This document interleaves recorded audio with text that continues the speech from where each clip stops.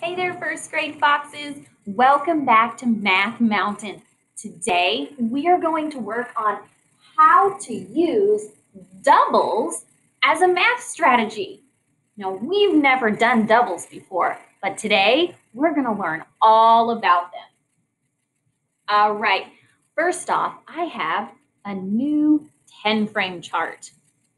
What do you notice about this 10 frame chart? Right. There are two of them. There's a 10 frame here and a 10 frame there. Now, if a 10 frame has 10 squares, then how many squares do we have on this page? Right, 10 plus 10 equals 20. We have double the 10 frames. All right, now let's do a little fun exercise. Remember how we've been doing some quick looks where we take a quick picture in our mind and that helps us to count them really quickly. All right, well, today is going to be a little bit of a challenge. We're going to do some quick looks with double 10 frames. Are you guys ready for the challenge? All right, get ready. Here comes your first quick look. How many dots did you see? Oh, Great job. You saw four dots in this 10 frame and four dots in that 10 frame. So how many dots are there all together? Eight. Nice job because four plus four equals eight. And if we wrote that as a number model, it would be four plus four equals eight. Nice job. Okay, here comes your next quick look. All right, you guys are going to have to be super quick now. Here it comes. What did you see this time? It was a little different, wasn't it? Do you need another quick look? There we go. How many dots are on the 10 frame this time? Right.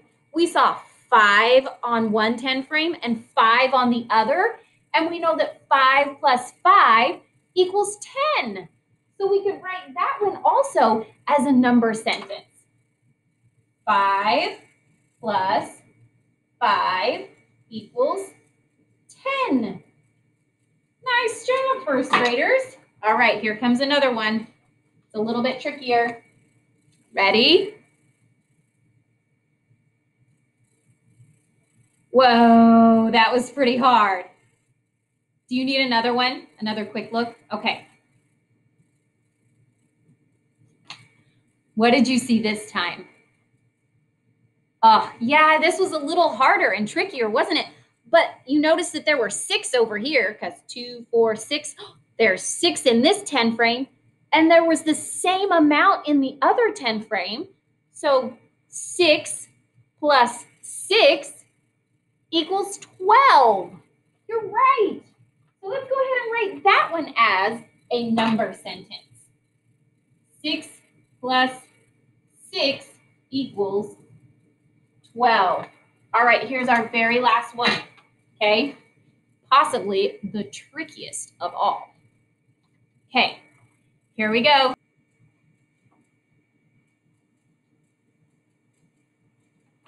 Did you get it? All right, here it comes. What did you notice about the 10 frames this time? Whoa, you did. You noticed that there was just one missing in each of the 10 frames. So there must be nine in this 10 frame because 10, take away that one, is nine. And they're both the same. So 9 plus 9 Ooh, 9 plus 9, that's a big number. Well, if we know that there's 20 squares all together, and we take two of those away, we could count backwards from 20. So we could go 19, 18. Oh, 9 plus 9 equals 18. Whoa, that was so tricky. Let's go ahead and write that as a number sentence. 9 plus 9 equals 18. Woo, Nice job, first graders. Now let's take a look at all of those double 10 frames that we took a look at. What do you notice about these number sentences? You're right. In each one of the number sentences, we have a number plus itself. This is what we call doubles. Whenever you take a number and you add the number to itself, it's a double. So we're going to add this to our math strategy wall. So we have 2 plus itself, which is 2, equals 4. We can use that as a math strategy. 5 plus 5 equals 10. We added a number and itself. It's the same number. So 6 plus 6 equals 12. 9 plus 9.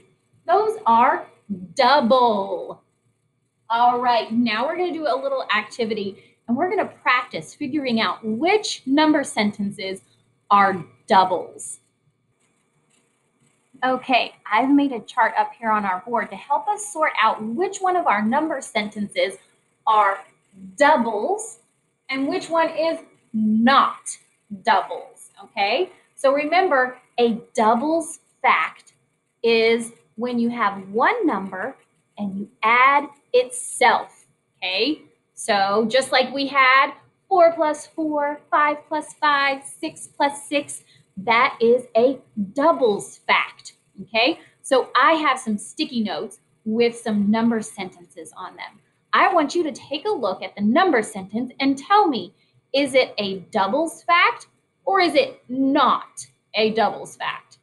And maybe sometimes you might not be sure. That's okay too. All right, here's the first number sentence. 1 plus 1. Is this a doubles fact or not a doubles fact? Right, it's a doubles fact because it's 1 plus itself. It's the same number. So we're going to put this over here in the doubles column. All right, here comes the next one. Is this a doubles fact or not a doubles fact? This one's not a doubles fact because it's 2 plus a different number. It's not plus itself. So it's not a doubles fact. How about this one?